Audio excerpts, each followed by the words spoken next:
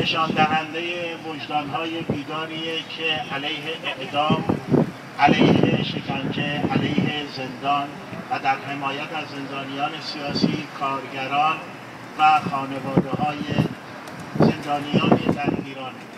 منم تشکر می‌کنم در این 16 روزی که هر روز ما علیه اعدام برنامه داشتیم.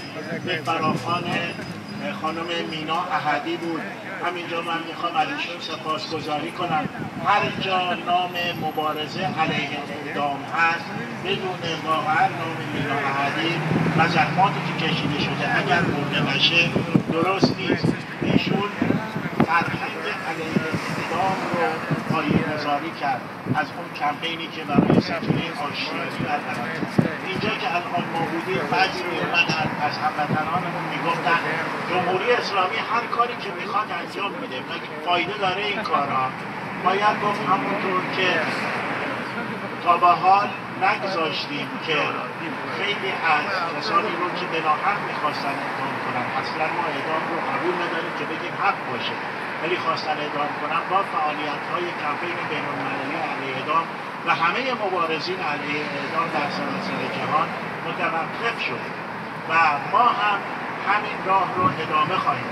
ایران سولیداریتی رو باید حمایت کنیم. ما هم همراه ایران سولیداریتی نهاد مادران این کار رو ادامه خواهند داد.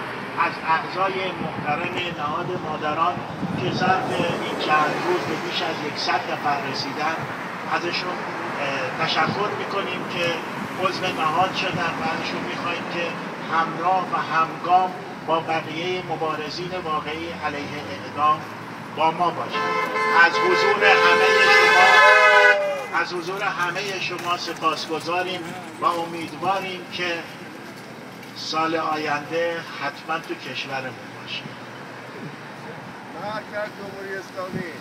مرسی بیژن عزیز. مرگ بر جمهوری اسلامی. مرگ بر جمهوری اسلامی. جمهوری اسلامی سرنگون.